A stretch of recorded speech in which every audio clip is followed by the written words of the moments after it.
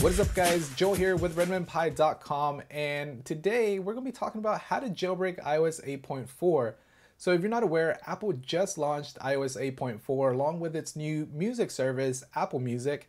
As you see here, I am running iOS 8.4 on this device and the Chinese jailbreak team, aka TaiG, released a brand new jailbreak tool that supports iOS 8.4. So that means you'll be able to jailbreak even if you are on iOS 8.4. So if you're kind of hesitant of updating from iOS 8.3 to iOS 8.4 because you want to keep a jailbreak, then go ahead and feel free to update to iOS 8.4 because there is a jailbreak tool available. Now this jailbreak tool is going to be untethered and currently available on Windows only, but as our last video showed, we are running a virtual machine on a Mac right now. As you see here, I am running Parallels Desktop.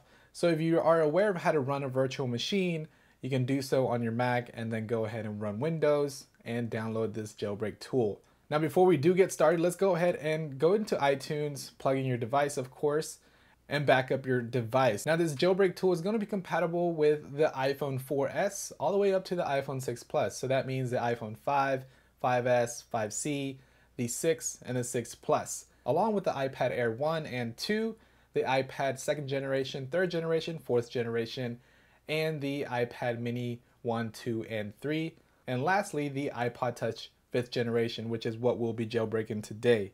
So after we have backed up our device, we are ready to jailbreak. So we can go ahead and close out iTunes and head over to taig.com forward slash en for the English version. Now go ahead and click on download TaiG jailbreak tool version 2.2.0 which is going to be the one that supports iOS 8.4. So once you download that, I actually already have this downloaded.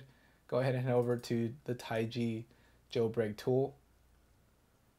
Now before we do get started, once again, let's go ahead and go into our settings on our iDevice and go ahead and turn off any type of passcodes or if you're using a Touch ID device, go ahead and turn that off as well. And also in iCloud, if you are signed into your iCloud account, go ahead and turn off Find My iPhone. Once you go ahead and disable your passcode and Touch ID and turn off Find My iPhone, we are ready to start. So go ahead and go back to TaiG, the jailbreak tool version 2.2, and here it will detect your device. As you see, I am running iOS version 8.4, and down here we're gonna go ahead and leave Cydia checked and uncheck the 3K assistant. Now once you do that, we'll be ready to begin. And you just hit start, and now you let TaiG do its thing.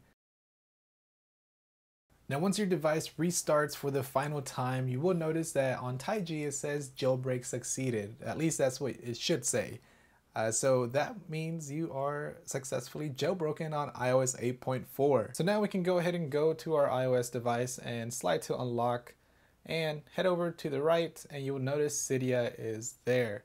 So now we go ahead and tap to open Cydia and now it's going to prepare the file system. So this is going to take again a couple of minutes. So just sit patiently and then it's going to restart your iOS device.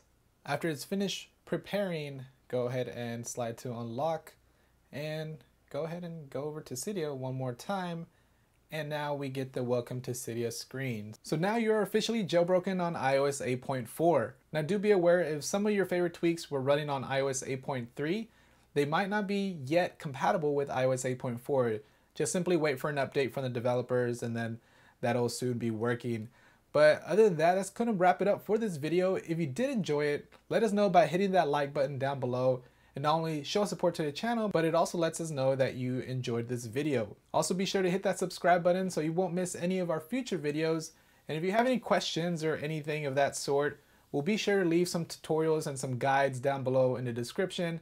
And that way you can go ahead and refer to those. Anyways, thanks a lot for watching and we'll catch you all on the next one.